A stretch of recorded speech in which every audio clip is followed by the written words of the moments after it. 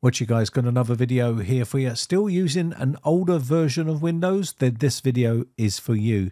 Using an older version of Windows can leave your computer vulnerable to security risks and malware as Microsoft will stop providing security updates for these systems after a certain date.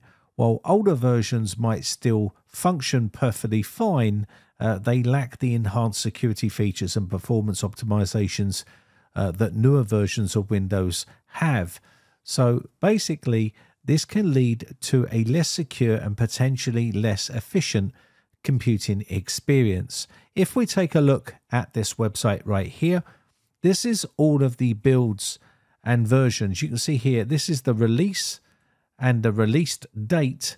And we can also see the active support on here and sub security support and the extended security updates and the latest build number right here.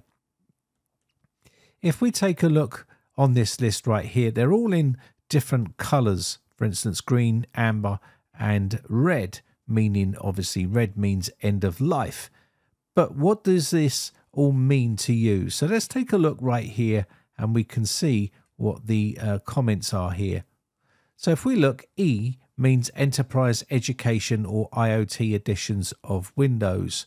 W is going to be home pro, pro education, uh, and pro for workstation editions. And LTS means long term servicing channel uh, branch. So let's take a look at some of these because some people assume that they're okay using an older build from Microsoft, for instance, 23H2, or maybe uh, older versions like 22H2 for Windows 10. It says 11 and 10 here, you can see.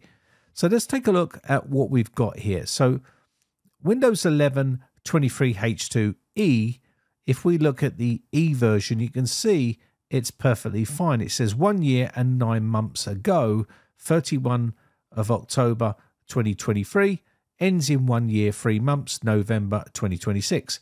And also, you can see this is the activity of it. But if we look at the W version of 23H2 on Windows 11, you can see it says one year and nine months ago, 31st of October 2023 was when it was released, and it ends in three months and one week. That is 11th of November 2025. This means Windows will not be supported anymore. That version of Windows will not be supported. And if you need to check, because if you put your security updates on hold, this means this version is not going to be updated and you will be forced to update to a newer version unless you want to run the risk of running a system that is not updated to the very latest builds. So let's take a look at a detailed breakdown here. So security risks are when Microsoft will end support for that operating system or that particular build of that operating system. They will stop releasing any security updates that will patch vulnerabilities on that PC. So this means that your computer will then become more uh, susceptible to malware attacks and also cyber attacks. Things like ransomware might easily be able to get onto the system and encrypt all your data and cause you problems. Performance and compatibility is another big problem. Newer versions of Windows often come with performance Im- improvements and also compatibility with newer hardware and software. Older systems may not be optimized for the latest technologies or may not even support newer programs.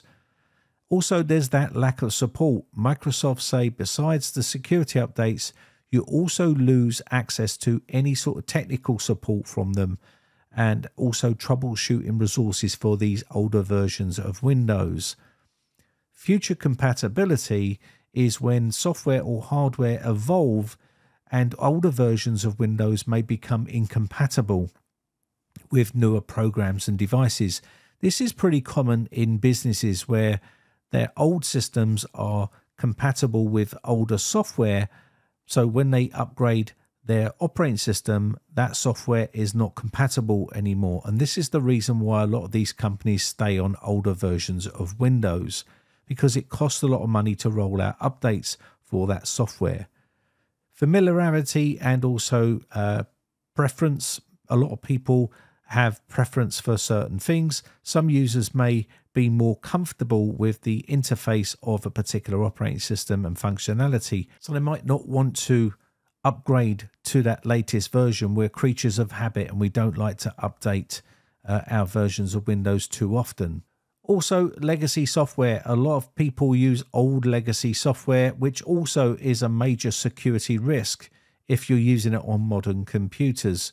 Uh, especially if your operating system is brand new and you're using an old version, say, of Photoshop, uh, that can be a security risk in itself. Some users may rely on specific types of legacy software as well that is only compatible with that older version of Windows. And this is why another reason they stay on that version of Windows. So, regardless of what people will tell you on the internet, if they tell you it's completely safe to still use Windows 7 or Windows XP or other versions of Windows that have reached end of life, then they are lying to you. You are still vulnerable to a lot of the things that we talked about in this video.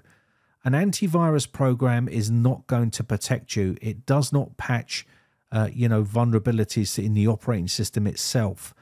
And some of these systems are, are so old now that they've not been patched at all for many, many years, and it could lead you leave you very vulnerable uh, to attack. Anyway, I think that's going to be about it. My name has been Brian from briteccomputers.co.uk. Just want to say a quick shout out to my YouTube members. I appreciate the support, and I shall catch you in the next video. Bye for now.